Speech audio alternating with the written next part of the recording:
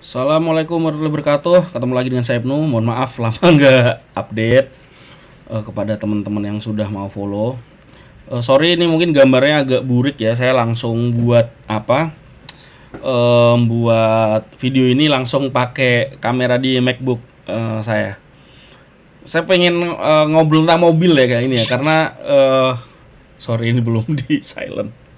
Karena minggu depan itu eh, tanggal berapa? Tanggal 9 atau tanggal 10 itu sudah ada yang namanya eh, Gias ya, Gias Gaikindo. Eh, di di apa? IC Serpong BSD. Oke.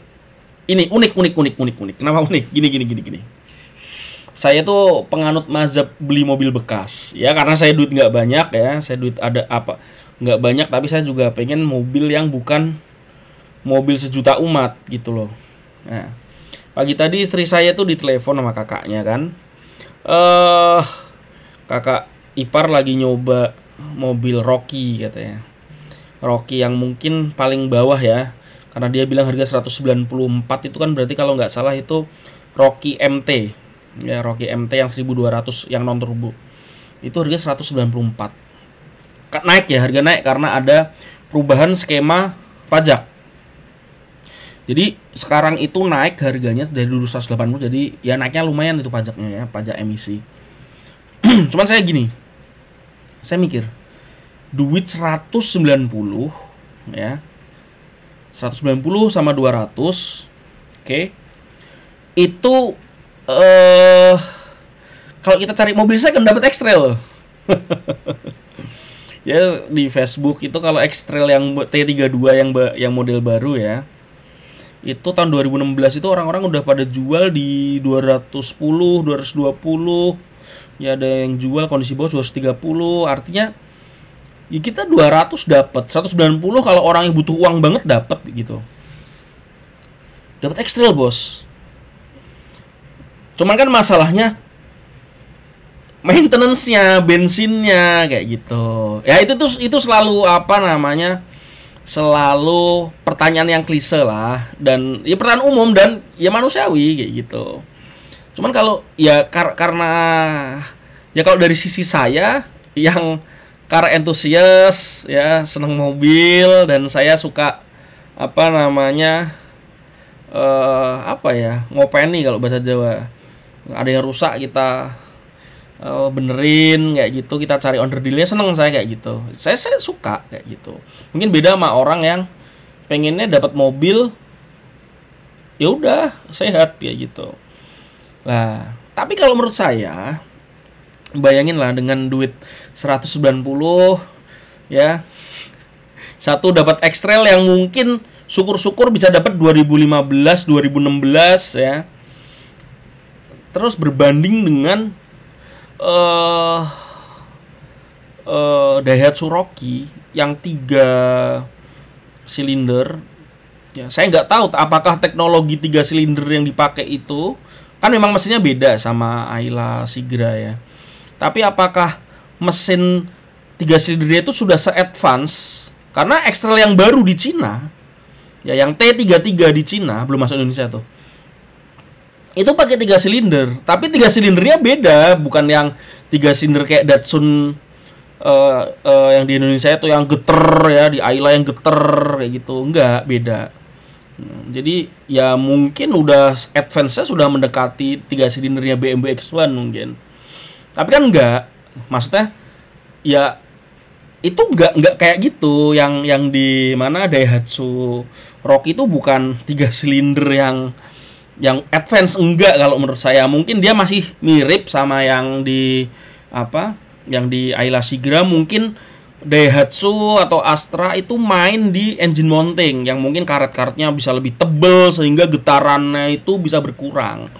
Tapi by apa day to day itu kan nanti karetnya lama-lama juga apa kelenturannya itu berkurang dan dia getarannya ya mungkin nanti kan 11 12 dengan kita pakai Ayla Sigra kayak gitu. Tapi poinnya bukan di sana. Poinnya adalah dengan harga yang sama, oke. Kita sebagai car antusias ya kita lari ke mobil yang nggak banyak orang pakai dong. X-Trail dan itu kan sebenarnya kan Excel itu kan dia satu makom dia sama si RV gitu cuman memang harganya Nissan itu lebih ancur secondnya nah ah Mas Ibnu bisa gitu bu, bukan ini bukan masalah duit cuman ma, mas kalau dari sisi car enthusiast itu ini lebih worth it gitu dan yang perlu teman-teman garis bawahi adalah spare part Nissan itu gak semahal yang kita bayangin. Ya kalau semua dibawa ke mana? Kalau semua dibawa ke bengkel resmi mahal coy. Kayak gitu ya. Contoh ya. E, kalau kita ya yang sering rusak deh, sering rusak AC. AC itu 10 tahun lah mungkin kompresor baru ganti. Kalau terpaksa ganti kompresornya Nissan XLT 32 itu ada value 4 jutaan kalau nggak salah evaporatornya pakai Valeo tuh 800 900 ribu ya kalau kita ke bengkel resmi ya 7 juta kayaknya kalau nggak salah gitu jadi jadi beda oke okay. Jadi AC segitu terus lahir itu juga nggak mahal kita cari merek NTN cari mereknya uh, eh, LKS jadi spare partnya T32 itu mirip sama T31 nggak nggak nggak semuanya bisa substitusi nggak. Tapi ada beberapa yang bisa. Tapi nggak nggak semua ya nggak semua. Radiator kalau ya radiator kalau terpaksa ibarat kata kita habis beli Nissan XLT 32 terus radiatornya harus ganti.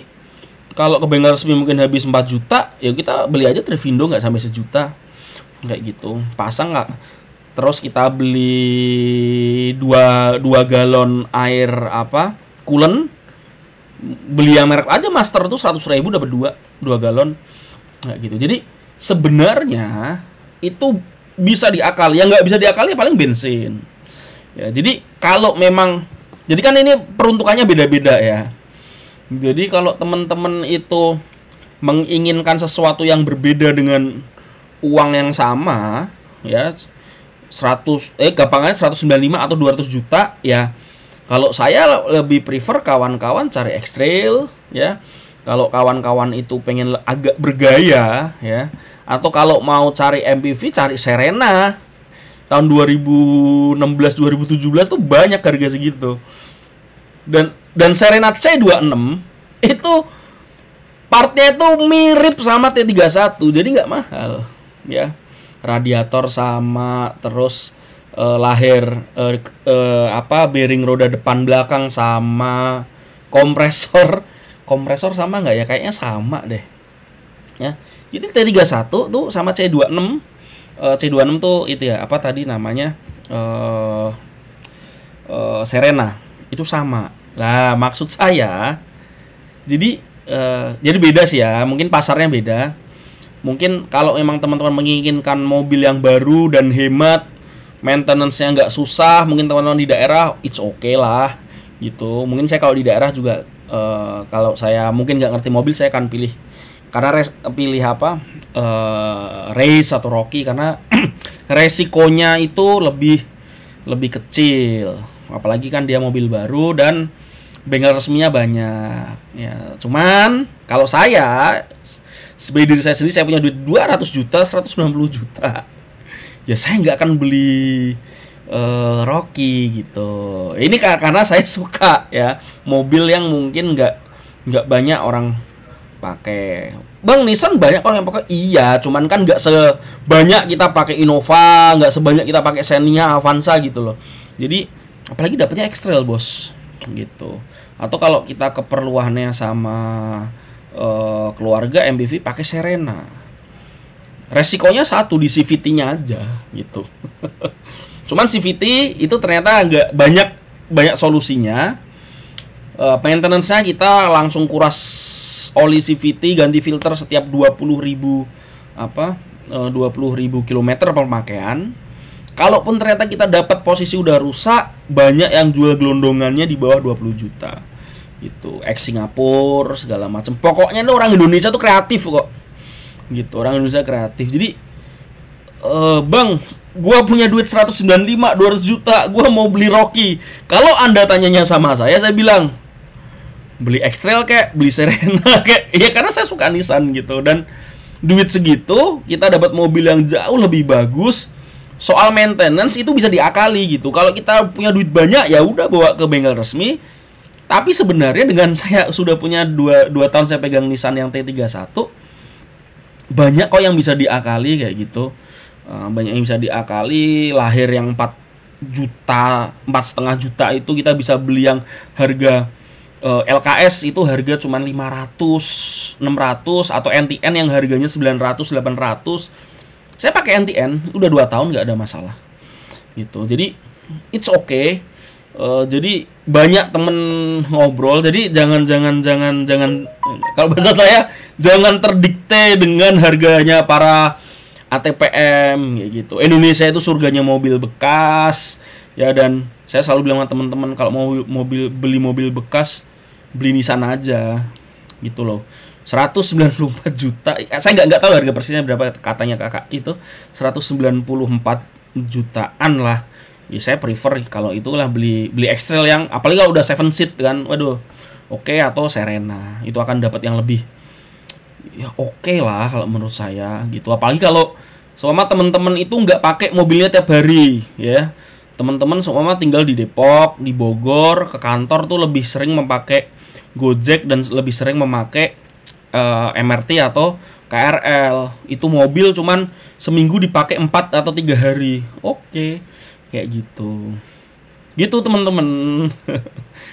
Jangan takut. Jangan takut.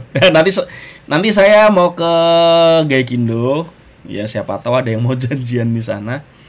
Cuman inget ya nanti di di Gias Gaikindo itu teman-teman kalau mau ikut ikutan itu harus apa ya harus daftar online beli tiketnya online gitu. Jadi ya di sana juga bisa tapi di sana nggak menyediakan loket. Jadi kita sana ngecek jam berapa yang kosong gitu kita baru bisa beli semuanya by by online gitu ya. Teman-teman ya.